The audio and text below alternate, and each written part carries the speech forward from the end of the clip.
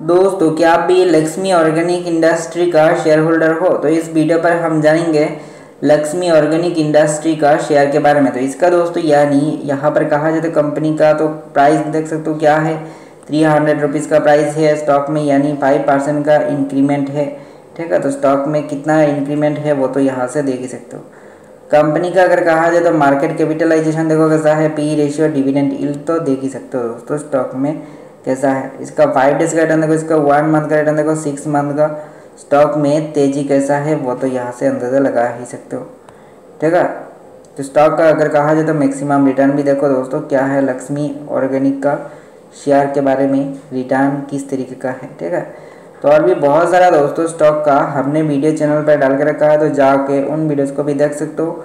Then दोस्तों आप decision ले सकते हो कि कौन से स्टॉक में आपको एंट्री लेना है एंड कौन से स्टॉक में नहीं, ठीक है?